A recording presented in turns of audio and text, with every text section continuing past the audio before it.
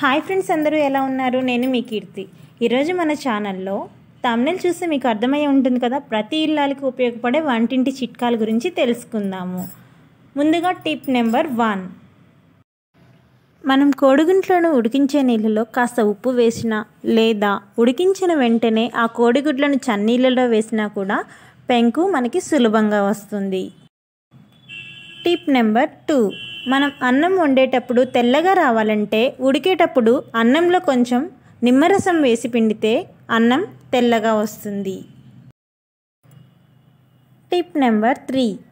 Omelette వేసే ముందు పెనం మీద కొంచెం ఉప్పు చల్లితే ఆమ్లెట్ అనేది పెనానికి అంటుకోకుండా వస్తుంది. Tip number four.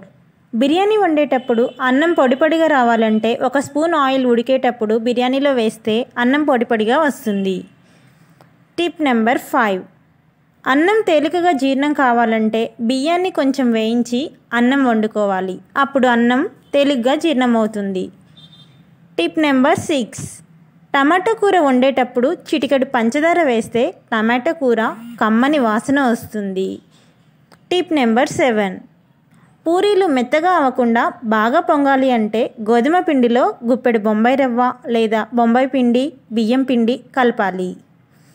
Tip number eight. పూరీల పిండిలో కొంచెం పాలు పోసి కలిపితే పూరీలు మృదువుగా వస్తాయి. Tip number nine.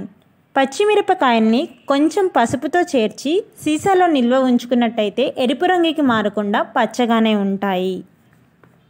Tip number ten. పెరుగు పుల్లగా మారకుండా ఉండాలంటే పెరుగులో కొంచెం కొబ్బరి ముక్కను వేసి చూడండి పెరుగు కమ్మగా ఉంటుంది. Tip number eleven. వెల్లుల్లి రేకులను సులువుగా తీయాలంటే వాటిని కొంచెం సేపు ఎండలో ఉంచితే సరిపోతుంది. Tip number twelve. దోశపిండిలో ఒక కప్పు సగ్గుబియ్యం కూడా వేసి రుబ్బితే దోశలు పల్చగా వస్తాయి. Tip number thirteen. కేక్ చేసేటప్పుడు పిండిలో ఒక చెంచా గ్లిజరిన్ కలిపితే కేకు ఎక్కువ కాలం తాజాగా ఉంటుంది. Tip number fourteen.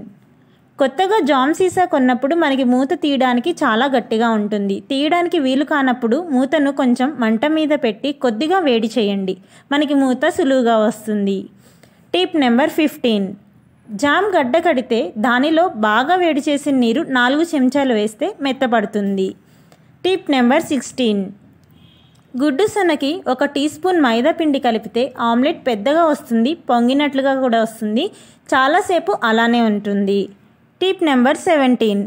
కోడిగుడ్డు సొనలో చిటికెడు కుంకుమ పువ్వు కలిపి ఆమ్లెట్ వేసి చూడండి. చూపులకే కాదు రుచి కూడా అద్భుతంగా ఉంటుంది. Tip number eighteen. కోడిగుడ్లు ఉడకపెట్టడానికి ఒకటి లేదా రెండు గంటలు ముందుగానే ఫ్రిడ్జ్లో ఉంచితే పగిలే అవకాశం ఉండదు. Tip number nineteen. ఒకవేళ పూరి పిండిలో ఉప్పు కలపడం మర్చిపోయినట్లయితే కంగారు పడకండి. పూరీలు వేయించే నూనెలో కొంచెం ఉప్పు వేయండి సరిపోతుంది. Tip number twenty. కూరగాయలు కొనేటప్పుడు మనం చిన్న చిన్న టిప్స్ అనేది పాటించాలి. వంకాయలు ముడతలు లేకుండా ఉండాలి మరీ గట్టిగా కానీ మెత్తగా కానీ ఉండకూడదు. Tip number twenty one. బంగాళదుంపలు గట్టిగా ఉండాలి. పైపొర తీసినప్పుడు లోపలి భాగంలో లేత పసుపు లేదా పచ్చని రంగులో ఉండాలి. బంగాళదుంప పైన నల్లని మచ్చలు లేదా ఆకుపచ్చని మచ్చలు ఉంటే అసలు తీసుకోకూడదు. Tip number twenty two. అల్లం మరీ గట్టిగా లేదా మెత్తగా ఉండకూడదు. ముదిరి రంగులో ఉన్న అల్లం చూసుకొని తీసుకోవాలి. Tip number twenty three. ఉల్లిపాయలు ఎప్పుడైనా గట్టిగా ఉన్నవి మాత్రమే తీసుకోవాలి. మెత్తగా ఉన్నా లేదా నీరు చేరినట్టు ఉన్నా ఎక్కువ కాలం నిల్వ ఉండవు. Tip number twenty four. Beetroot కొనేటప్పుడు దాని కింద భాగంలో వేర్లు ఉన్న వాటినే కొనాలి. ఎటువంటి మచ్చలు కానీ రంధ్రాలు కానీ లేనివి చూసి కొనాలి. Tip number twenty five. Cauliflower కొనే ముందు దాని ఆకులు ఆకుపచ్చని రంగులో ఉండేలాగా చూసుకోవాలి. పచ్చదనం లేని ఆకులున్న ఆ కాలీఫ్లవర్ కొనకూడదు. పువ్వు విడిపోకుండా దగ్గరగా ఉన్న వాటినే కొనాలి. Tip number twenty six. ఆకుకూరలు కొనేటప్పుడు వాటిపైన తెల్లని మచ్చలు లేకుండా చూసుకోవాలి. వాటి కాడలు తాజాగా లేతగా ఉండేటట్లు చూసుకోవాలి. Tip number twenty seven. మనం ఫ్రిడ్జ్ వాడేటప్పుడు ఎలాంటి జాగ్రత్తలు చిట్కాలు చూసుకోవాలి చూ- తెలుసుకుందామా? ముందుగా ఫ్రిడ్జ్లో ఆహార పదార్థాలను కూరగాయలను ఏమాత్రం ఖాళీ లేకుండా ఇరికించి పెట్టకూడదు. ఫ్రిడ్జ్ లోపల గాలి ప్రసరించేలాగా చూసుకోవాలి. కొంచెం ఖాళీ కూడా ఉండేలాగా చూసుకోవాలి. Tip number twenty eight. సువాసన వచ్చే పువ్వులను ఫ్రిడ్జ్లో పెట్టేటప్పుడు వాటి వాసన బయటికి రాకుండా జాగ్రత్తగా కవర్ చేసి పెట్టుకోవాలి. దీనివల్ల ఫ్రిడ్జ్లో మొత్తం స్మెల్ అనేది స్ప్రెడ్ కాకుండా ఉంటుంది. Tip number twenty nine.